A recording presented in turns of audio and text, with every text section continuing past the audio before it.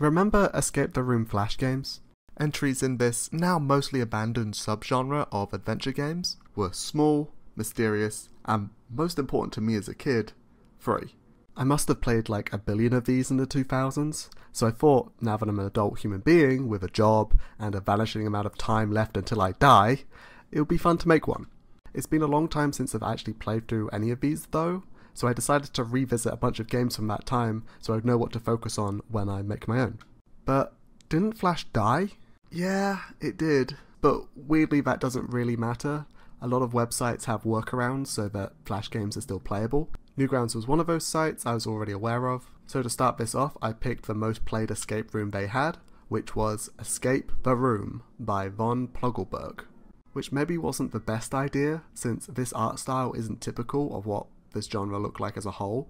In fact, not many Flash games used 3D, though the ones that did ended up becoming quite famous. The puzzles here are quite standard though, enjoyable, but only two or three of them actually require any sort of logical leap.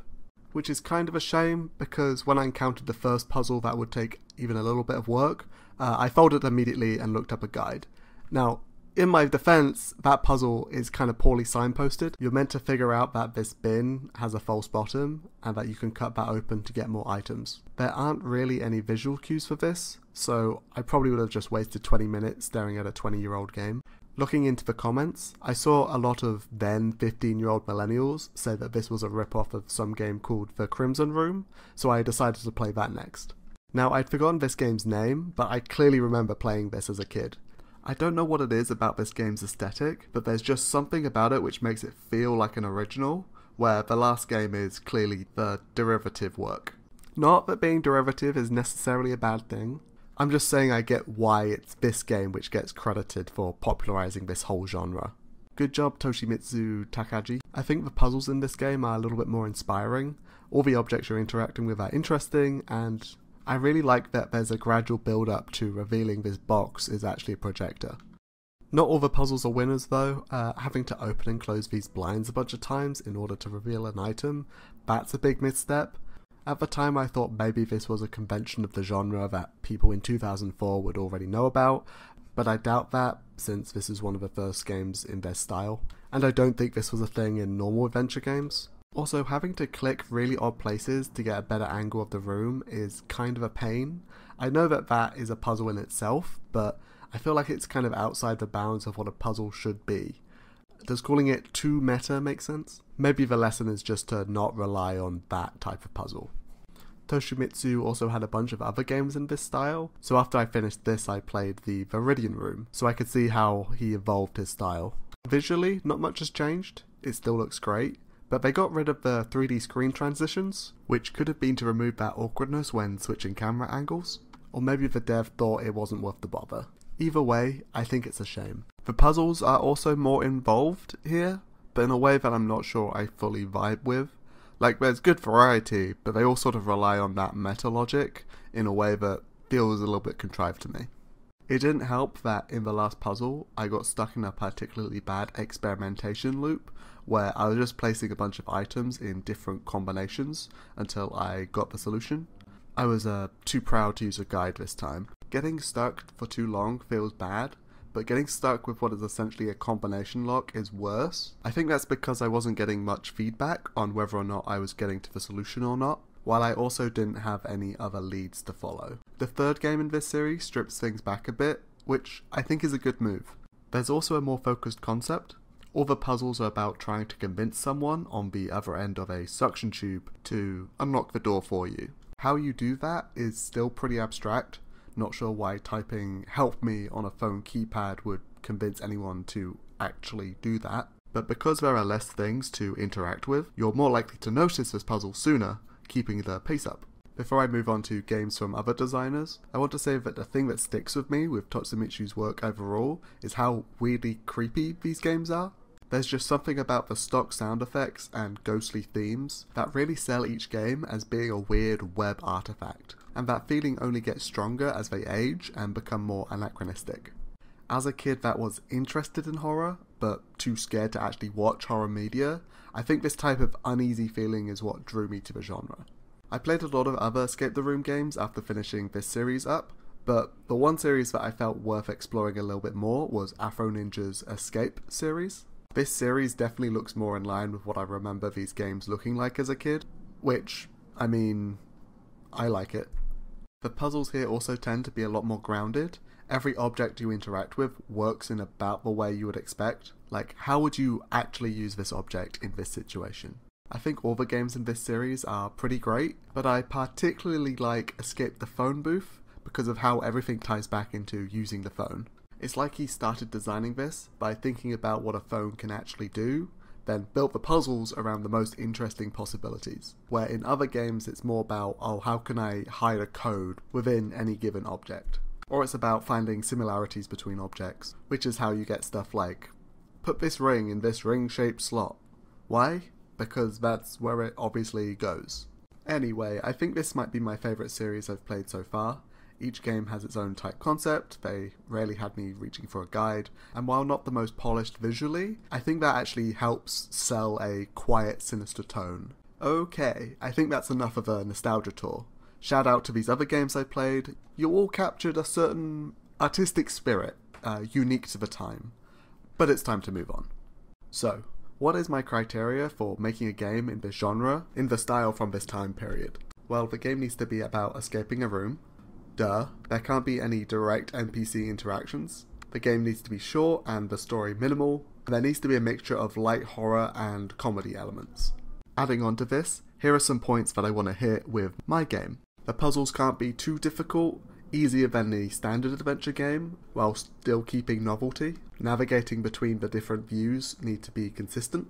Puzzles that follow some sort of moon logic need a clear explanation somewhere. Try whenever possible to bring attention to where the puzzle actually is. Also, the solutions themselves should be funny. After playing all these games, I decided that visually, I wanted the game to look a little bit more like the Crimson Room, but in terms of puzzle design, I wanted to take Afro Ninja's approach. So I started developing this game by just brainstorming for a theme, and for some reason I kept thinking about liminal spaces. Specifically how as a kid you're in these liminal spaces, but they've been decorated in a way to make them feel more welcoming to you, with uh, mixed results. A dark school corridor decorated with notice boards, some of which used colour paper to depict a farmyard scene. A windowless children's hospital waiting room with landscapes painted directly onto industrial brick. I'm not saying that this effort didn't help make the environment feel more comfortable, but there's still something off about the outdoors being represented in such a childish way, especially when you're in a location lacking natural light. Not even to mention that as a child, you're often in these places against your will. From thinking about that, I decided that the name of the game would be Escape the Outside, where the concept is that each wall in the room is a overly simplistic depiction of a landscape. I had a few other ideas, but I felt this concept would work with my art style, since I already lean into a naive style of drawing. By the way, if you don't want the game to be spoiled, uh, now's a good time to follow the link in the description to actually play it. Just make sure to give me a like and subscribe before you do so you don't forget. Also, if you could come back after, I would uh, really appreciate it. Anyway, after committing to this concept, I decided what the images on each wall should be, then came up with items and interactions relevant to each wall. I don't really know how to describe that process other than it being purely vibes based. I just turn off my brain and choose the most grabby ideas as they appear to me. Through doing this, a backstory slowly emerged, which is that the aliens that abduct the player think that all humans have the intelligence of like a chimp or something. Aha, yes, we shall study the human in their natural habitat, so we'll just put some wallpaper up and they probably won't notice. So that sort of stupidity extends to all the objects in the scene. Oh, what do they sleep on? Hay, duh. Uh, what do humans drink? Uh, milk, probably. Now, I'm pretty sure this specific reasoning doesn't come across, but it was good for inspiration. This backstory did lead to making one puzzle I was a little bit iffy on. It's the one where instead of just clicking on udders, you have to feed grass to a robot cow in order to get it to, um, lactate? Like, I knew I wanted getting milk to be a little bit more challenging, and I really wanted the cow to do something when fed grass, because I felt like that's something the player would likely want to do. So the backstory is that the aliens just don't understand or care how cows actually work. But still, the puzzle felt a little bit too meta for me, and I saw in testing that this puzzle ended up being a pain point. so I ended up giving the player like explicit instructions on how to get milk. And that didn't seem to bother anyone. There are two maybe lessons here. First one being that a solution being a fun things players will want to do anyway isn't really a strong enough hint. And secondly, when how an object works in game differs from our pre existing mental model, how we expect things to work in real life, I need to find a way to communicate that difference. Sure, that kind of removes a certain deduction element from the game, but I think that part of adventure games are a little bit overrated. Who wants to be stuck for hours? I just want to click on stuff. Okay, maybe that's not true for larger adventure games, where the idea is that you're meant to stop playing and come back later with fresh ideas.